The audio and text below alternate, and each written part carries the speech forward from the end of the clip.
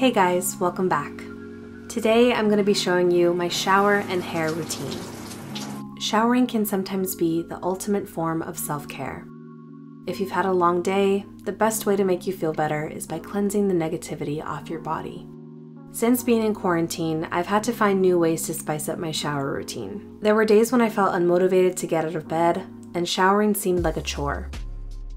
In hopes of creating a more relaxing environment, I always like to light a candle and set the mood by changing the color of the lights, and of course, playing my favorite feel good music out loud on my Google Home.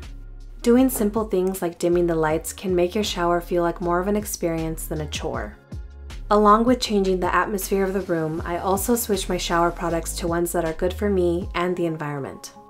I've been using the Shea Moisture Coconut and Hibiscus Curl and Shine Shampoo, and I feel like it's brought my curls back to life.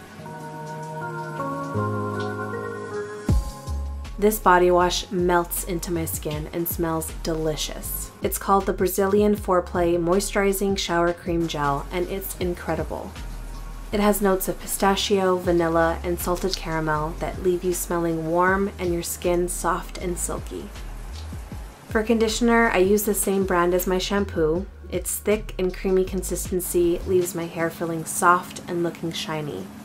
I like to run it through my hair first before using my wet brush to detangle my hair. I find that this technique helps to deposit the conditioner evenly as well. I like to let it sit in my hair for at least 5 minutes, so I use this spare time to focus on my skin. For face wash, I use a pump of the CeraVe Hydrating Facial Cleanser on my Duvolle spin brush to gently remove any excess dirt or makeup residue on my skin. I love this brush because it's easy to use and does all the work for me. It comes with four interchangeable brush attachments, which includes the cleansing brush, an exfoliation brush, a large body brush, and a pumice stone.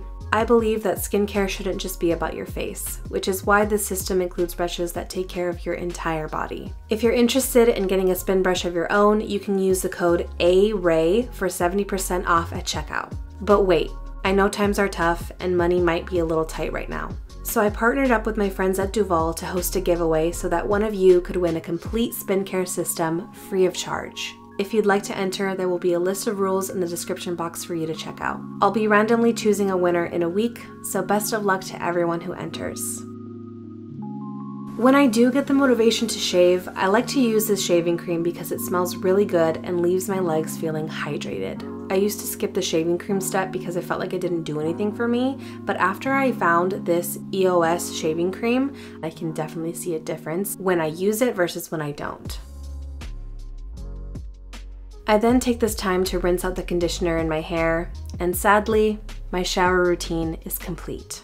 I like to use the CeraVe moisturizing cream all over my body to lock in the hydration. My skin is especially dry in the winter time, so I can't skip this step. To keep my curls bouncy and healthy, I use the Shea Moisture Curl Enhancing Smoothie. As you can tell, I really love this brand. I 100% recommend their products to anyone who has curly hair. They smell amazing, they're good for the environment, they're family owned, they're black owned, and they're affordable as well.